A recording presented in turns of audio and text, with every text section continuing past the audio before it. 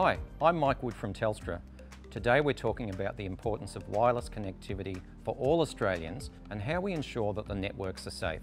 Australians depend more and more on mobile connectivity every day, whether it's working or studying from home, or my favourite, working in a local coffee shop, running a small business or a weekend market stall, having tradies visit us at home, or our emergency services attending to people in the local community. Mobile connectivity plays a vital role for everyone. Australians are using our mobile network more and more every day.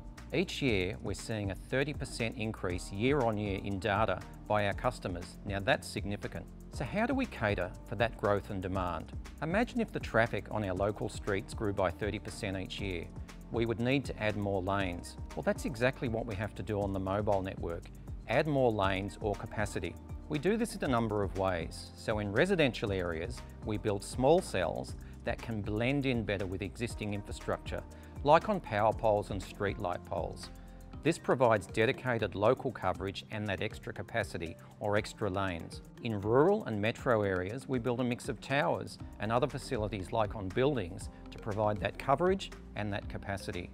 In the cities, shopping centres, universities, sports stadiums and transport hubs, we use a mix of everything.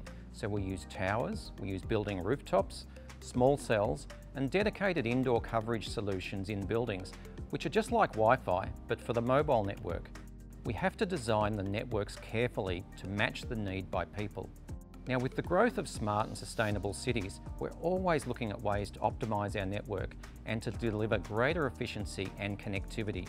So as we build new 5G sites, we also update the 4G technology to use all of the available spectrum, giving the best connection and capacity at each site adding as many lanes as possible. In the future, more spectrum will be used as 5G advances to provide even greater capacity, higher speeds and better connectivity for all Australians.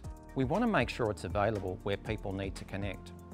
So how do we ensure our technology is safe? Well, we use advanced computer modelling for the site design assessments and we test our latest mobile technology in the labs to ensure it meets the EME safety standards. Importantly, we also test our sites in the community where people are to provide that reassurance on safety. Now testing in a really busy area like the Melbourne CBD where there are many people using mobiles shows there are lots of mobile connections and very low EME levels. And this is consistent with what the government audits have found. We can see the 100% line here, which is this purple line. That's the general public safety limit. Each of these is a factor of 10 now look at all the radio channels that you can see. These are all the mobile channels and look how well below they are, below this safety limit. Testing our small cells in local communities also shows the same thing, very low EME levels. I hope this video has provided an insight into the importance of wireless connectivity and the safety of our networks. Thank you for watching.